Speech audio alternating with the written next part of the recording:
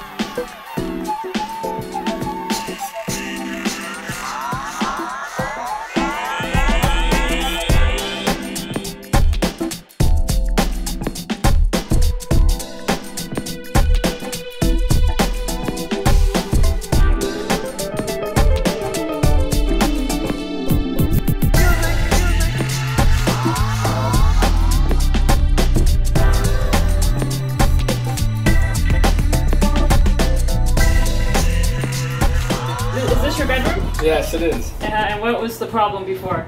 The problem was it's just really hot going to bed because I just had a fan above because I had to reach through all the air um, vent ducts through the house and by the time it comes here it's just not cool anymore. It used to be a garage. So the AC wasn't really installed properly here, right? just by walking in I already feels a nice cool breeze right away. No fan anymore and perfect.